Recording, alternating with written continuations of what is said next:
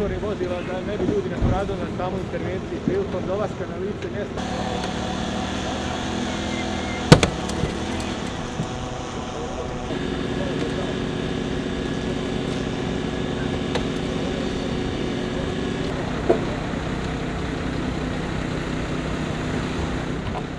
Povodom 4. maja Međunarodnog dana vatrogasaca, Udjeljenje za javnu sigurnost vlade Brčko distrikta Bosne i Hercegovine upriličilo je taktičko pokaznu vježbu profesionalne vatrogasne jedinice koja se odnosi na spašavanje unesrećenih u saobraćanjim nezgodama.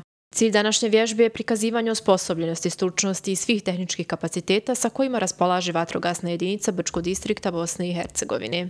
Ovo je još jedan segment s kojim se Odeljenje za javnu bezbjednost, odnosno profesionalna vatrogasna jedinica bavi ne samo pored onih standardnih naših procedura gašenja požara i ostalog.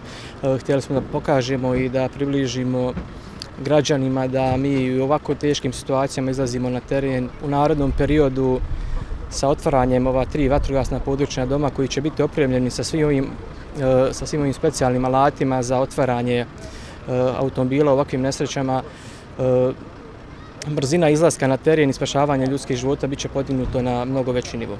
Pripadnici profesionalne vatrogasne jedinice Brčko često se susreću sa ovakvom vrstom intervencija, kako u distriktu, tako i u susjednim opštinama. Intervencije ovakvog tipa i usluge pružamo našim e, komšijama iz okruženja, to su općina Bijeljina, općina Lončari, Donji Žabar i tako dalje i tako dalje.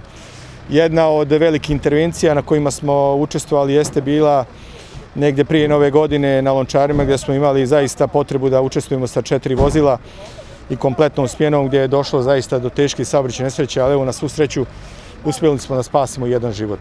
Iz Odjeljenja za javnu sigurnost ističu da se otvaranje područnih vatrogasnih domova koji se nalaze u Prutačama, Sandićima i Bijeloj očekuje do kraja tekuće godine.